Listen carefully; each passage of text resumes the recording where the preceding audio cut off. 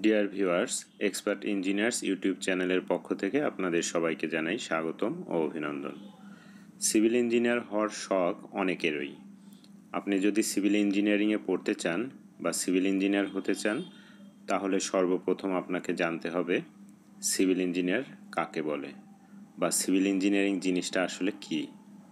Civil ইঞ্জিনিয়ারিংয়ের বিষয়ে আমার একটি বিস্তারিত ভিডিও দেওয়া আছে, চাইলে দেখে নিতে পারেন। আজকের টপিক্সের মাধ্যমে সিভিল ইঞ্জিনিয়ার সংক্রান্ত যাবতীয় প্রশ্নের উত্তর দেওয়ার চেষ্টা করব। যেমন সিভিল ইঞ্জিনিয়ার কাকে বলে? একজন সিভিল ইঞ্জিনিয়ারের ডিউটি এবং রেসপন্সিবিলিটি কী? সিভিল ইঞ্জিনিয়ারদের জন্য ওয়ার্ক এনভায়রনমেন্ট কেমন? সিভিল ইঞ্জিনিয়ারদের working time educational qualification and experience civil ইঞ্জিনিয়ারদের পজিশন অ্যান্ড প্রমোশন সিভিল ইঞ্জিনিয়ারদের যে সফটওয়্যারগুলো জানা থাকা প্রয়োজন, আরও অনেক কিছু। তাই ভিডিওটি না টেনে শেষ পর্যন্ত দেখুন। আমি ইঞ্জিনিয়ার আব্দুল সাত্তার আছি আপনাদের সাথে। চলুন শুরু করি। সিভিল ইঞ্জিনিয়ার হচ্ছেন এমন এক ব্যক্তি যিনি মূলত সিভিল ইঞ্জিনিয়ারিং সংক্রান্ত সমস্ত কিছু প্র্যাকটিস করেন। যেমন ধরুন, বিভিন্ন ছোট বড় কনস্ট্রাকশন সংক্রান্ত বিষয়বস্তু সম্পর্কে প্ল্যানিং করা, ডিজাইন করা এবং ইমপ্লিমেন্টেশন করা। সিভিল ইঞ্জিনিয়ার আবার দুই ধরনের। B S C in civil engineer and diploma in civil engineer বাংলাদেশের গেজেট অনুযায়ী B S C in civil engineer হল ওই পেশাজীবী ব্যক্তি যিনি স্বীকৃত কোনো বিশ্ববিদ্যালয় হতে পুরকৌশল বিষয়ে স্নাতক ডিগ্রি প্রাপ্ত ও ইনস্টিটিউট অফ ইঞ্জিনিয়ার্স বাংলাদেশ মানে আইইবির সদস্য। এবং বিধি একচল্লিশ অনুযায়ী তালিকাভুক্ত।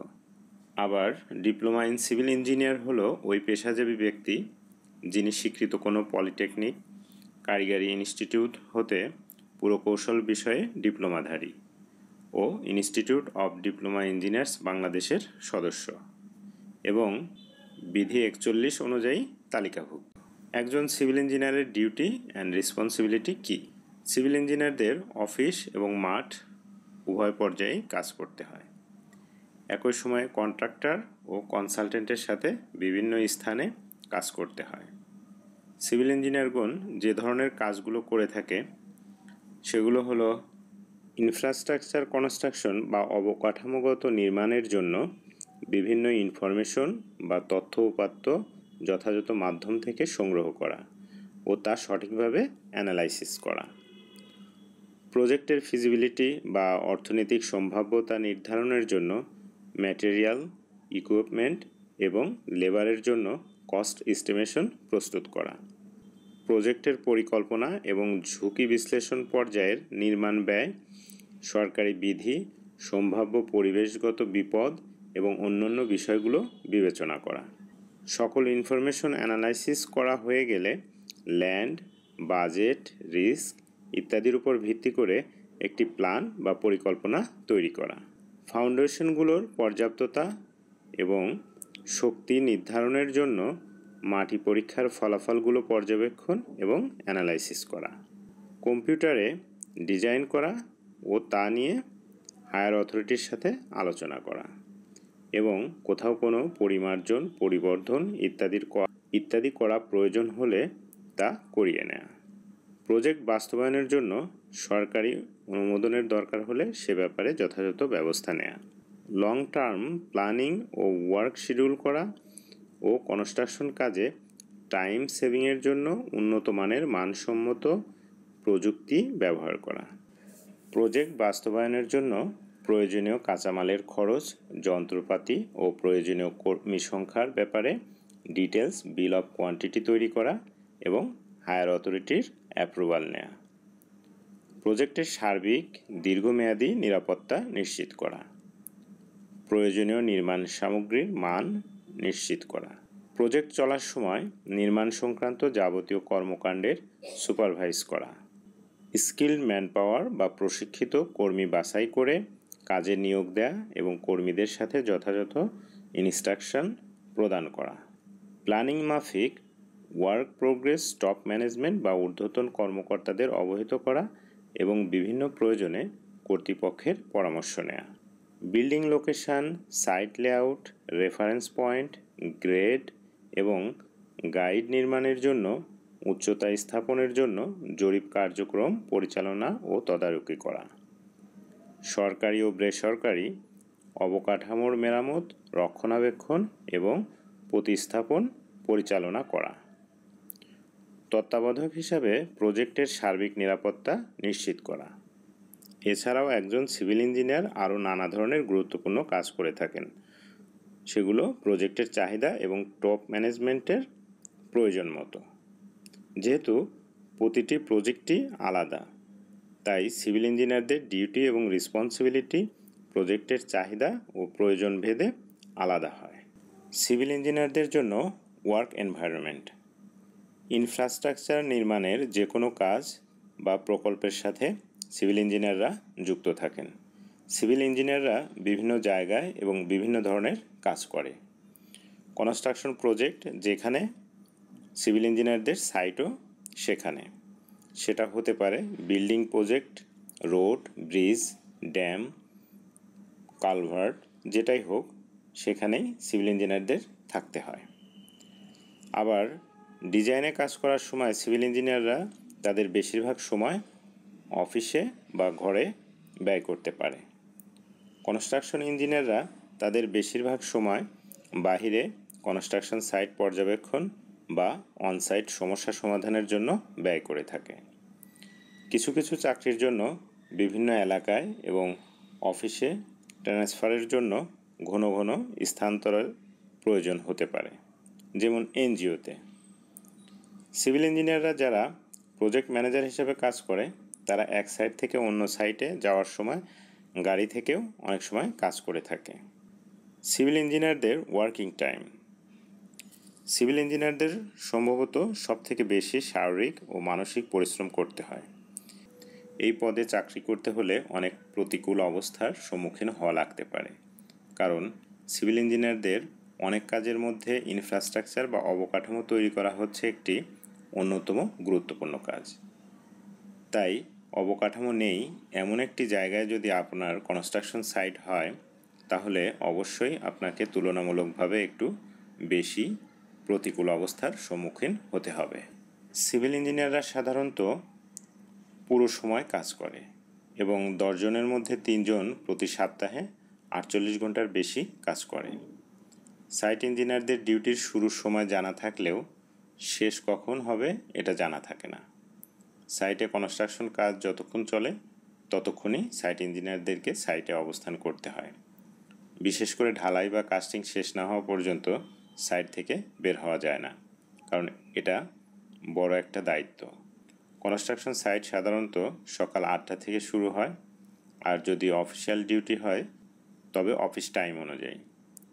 সিভিল ইঞ্জিনিয়াররা অফিস বা সাইট যেখানেই কাজ করেন না কেন, প্রজেক্টের ডেডলাইন মিট করতে অতিরিক্ত সময় কাজ করতে হতে পারে। সিভিল ইঞ্জিনিয়ারদের জন্য এডুকেশনাল কোয়ালিফিকেশন বা এক্সপিরিয়েন্স। সিভিল ইঞ্জিনিয়ার হতে হলে BSc in civil engineering complete হতে হবে। আর উপসহকারী প্রকৌশলী হওয়ার জন্য সিভিল ইঞ্জিনিয়ারিংয়ে ডিপ্লোমা পাশ হলেই হবে। সিভিল ইঞ্জিনিয়ারিংয়ে ডিপ্লোমা করতে হলে বিজ্ঞান বিভাগ থেকে এসএসসি পাশ হতে হবে। বিএসসি ইন সিভিল ইঞ্জিনিয়ারিংয়ে পড়ার জন্য সিভিল ইঞ্জিনিয়ারিংয়ে ডিপ্লোমা পাস বা বিজ্ঞান বিভাগ থেকে এইচএসসি পাশ হতে হবে। সিভিল ইঞ্জিনিয়ারিং বিষয়ে স্নাতক ডিগ্রিপ্রাপ্ত বা ডিপ্লোমাধারী উভয়কেই তাদের নিজ নিজ পেশাজীবী সংগঠনের তালিকাভুক্ত হতে হবে। পাবলিক প্রকল্পের দায়িত্ব নিতে এবং অনেক নিয়োগকারী প্রতিষ্ঠান জব সার্কুলারে পেশাজীবী সংগঠনের মেম্বারশিপ বাধ্যতামূলক চায়। ডিপ্লোমা ইঞ্জিনিয়ারদের আইডিইবি এবং স্নাতক ডিগ্রি ইঞ্জিনিয়ারদের আইবি থেকে মেম্বারশিপ নিতে হয়। একটা কনস্ট্রাকশন প্রজেক্টের মোটামুটি এন্ট্রি লেভেলের জব হচ্ছে সাইট ইঞ্জিনিয়ার প্রজেক্টের প্রয়োজন অনুযায়ী এই পদে ডিপ্লোমা অথবা বিএসসি ইঞ্জিনিয়ার নিয়োগ পেতে পারে। সাধারণত জিরো থেকে পাঁচ বছরের এক্সপিরিয়েন্স দরকার হয় এই পদে নিয়োগ পাওয়ার জন্য। সিভিল ইঞ্জিনিয়ারদের পজিশন অ্যান্ড প্রমোশন সরকারি প্রতিষ্ঠানে বিএসসি হলে সহকারী ইঞ্জিনিয়ার এবং ডিপ্লোমা হলে উপসহকারী বা সাব অ্যাসিস্ট্যান্ট ইঞ্জিনিয়ার হিসাবে আপনার ক্যারিয়ার শুরু হতে পারে। চাকরির তিন থেকে পাঁচ বছরের মধ্যে পদোন্নতি পাবেন। তবে বেসরকারির ক্ষেত্রে অবশ্যই এটা নির্ভর করে আপনার পারফরম্যান্সের উপর। ক্যারিয়ারের সর্বোচ্চ পর্যায়ে সরকারি পদ হলো প্রধান প্রকৌশলী। প্রাইভেট ফার্ম বা কোম্পানির ক্ষেত্রে একজন ব্যবস্থাপনা নির্বাহী হিসাবে নিয়োগ পেতে পারেন।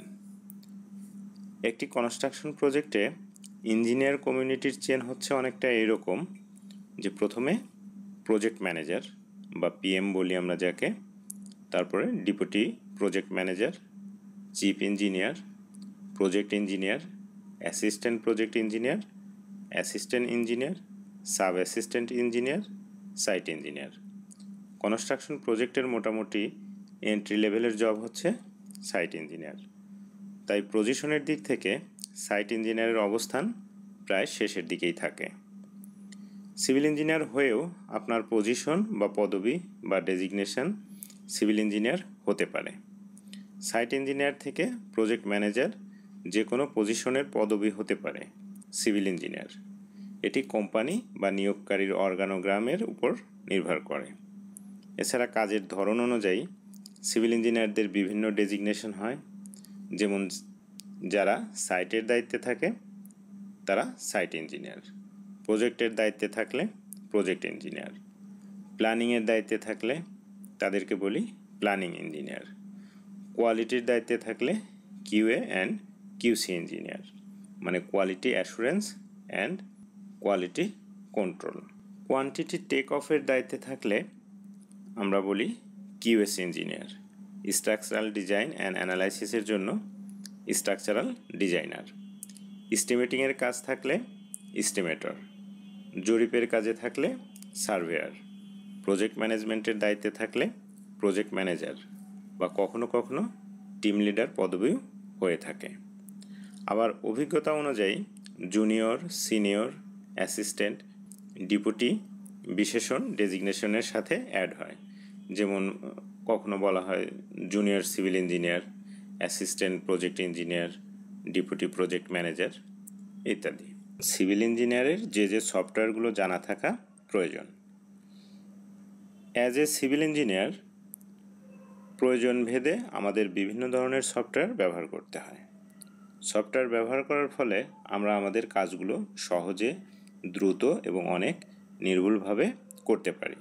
আপনি যদি পেশায় একজন সিভিল ইঞ্জিনিয়ার বা কনস্ট্রাকশন কাজে নিয়োজিত হন, তাহলে মিনিমাম এমন কতগুলো সিভিল ইঞ্জিনিয়ারিং সফটওয়্যার আছে যেগুলোর কাজ আপনাকে জানতে হবে। যেমন ড্রাফটিং বা ক্যাট সফটওয়্যার। ক্যাট হচ্ছে কম্পিউটার এইডেড ডিজাইন সফটওয়্যার। এর সাহায্যে টু এবং থ্রি ড্রয়িং করা হয়। আবার প্রজেক্ট ম্যানেজমেন্টের জন্য দুটি সফটওয়্যার খুব বেশি জনপ্রিয়। যেমন মাইক্রোসফট প্রজেক্ট এবং ওরাকল প্রিমাভেরা যদি স্ট্রাকচারাল ডিজাইন এবং অ্যানালাইসিস করতে চান, তাহলে আপনাকে জানতে হবে স্টার্ট প্রো সেফ ইট্যাপস এই সফটওয়্যারগুলো। অফিস অ্যাপ্লিকেশন মূলত ইঞ্জিনিয়ারিং সফটওয়্যার না, তবে অনেক কাজেই অফিস অ্যাপ্লিকেশন ব্যবহার করতে হয়। তাই এমএস অফিস অ্যাপ্লিকেশন জানা অপরিহার্য। অফিস অ্যাপ্লিকেশনগুলোর মধ্যে রয়েছে MS Word MS Excel and MS PowerPoint আবার বিভিন্ন ধরনের মডেল তৈরি করতে অথবা একটি প্রজেক্টের ভিজুয়াল প্রদর্শনীর জন্য জানতে হবে। থ্রি ম্যাক্স ব্লেন্ডার স্কেচআপ সাথে ফটোশপ জানা থাকলে ভালো হয়।